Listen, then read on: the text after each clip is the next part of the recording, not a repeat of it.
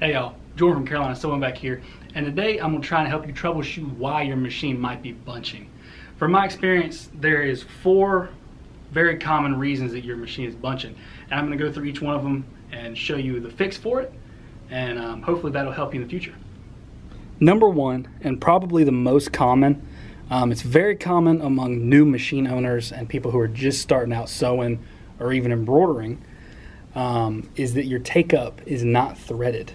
It's really easy if you're looking at this machine to just come around and thread it, think you caught it, thread your needle and start sewing and within about two, three stitches, you're gonna hear a terrible noise and you're gonna be bunching up.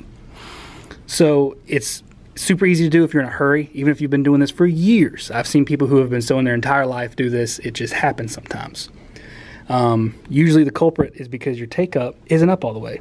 So come over here, touch your hand wheel, and make sure your take up is exposed. Um, you want to make sure that you can see your thread wrapped around it and that it is successfully in your take up right here. Um, if you have a button, you can press that to make sure you're all the way up.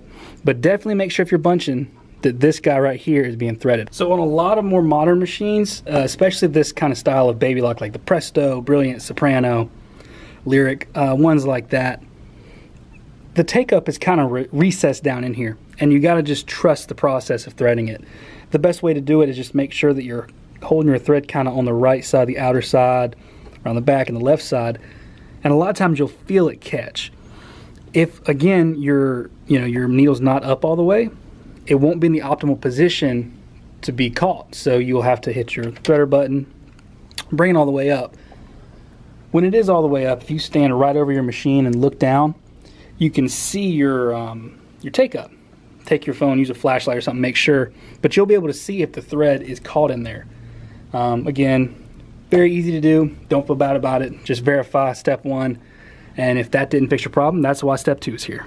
All right, and the second one is that your bobbin is not in tension. Most commonly, and this is not gonna be 100% of the time, this is again just years of observation and getting phone calls and helping people.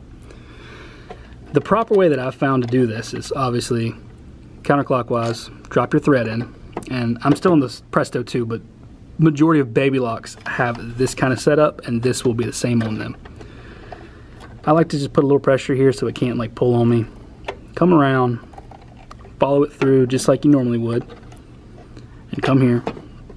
Take this, put it on first, and then cut it. Sometimes, not often, sometimes when you thread this and you cut it and then you put this on, when you cut it, if you're pulling too tight, maybe what kind of thread you're using, it'll slip back out of tension. That can be a big reason. Um, I've never had that happen because I always practice doing that way. Um, you know, on other machines like the Zeal that I was just using or other machines that don't have this kind of setup, if you just make sure that it's deliberately being put in there and you can almost feel it snap in place, you shouldn't have a problem. Broken bobbin case. These can be broken in a number of different ways. Your tension could literally just be worn out. Maybe you haven't had a new bobbin case in 10 years.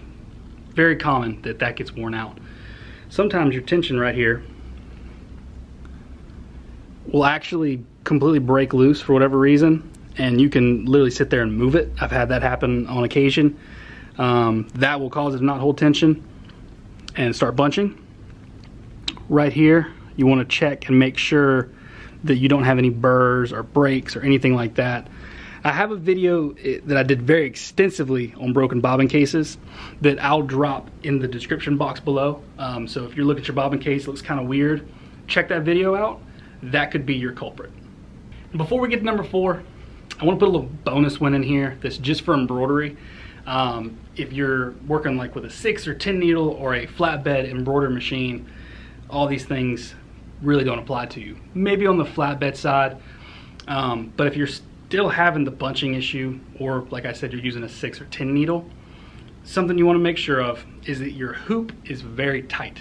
You're using stabilizer and it's completely covering the edges. You know, you have an excess piece as well as whatever you're embroidering is excess. You know, you're not skimping out on your stabilization. Then you wanna also make sure that it's tight like a drum and that your screws are tight as well. Because if there's any kind of bounce, that can cause breakage, skipping, and bunching. So now let's get to number four. The final reason that your machine is bunching is almost exclusively going to be for external tension machines.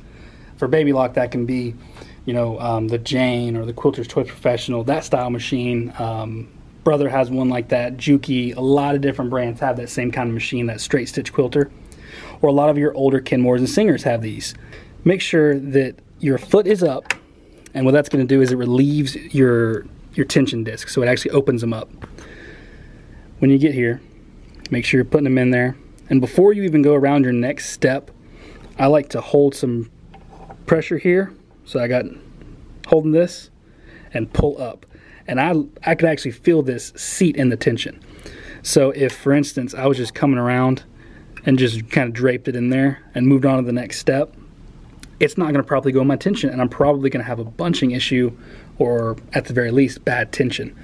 So you want to come here, pull up on it, make sure you feel it seat in, and then you can come down and do the rest of your threading. All right, y'all. I hope you fell into one of those four or five categories and that fixed your problem. If it didn't, it might just be time to take your machine in. There's a good chance if you haven't had a service in a while, it definitely needs it. Um, so thank you for watching. Don't forget to like, subscribe, and comment, and we'll see you next time.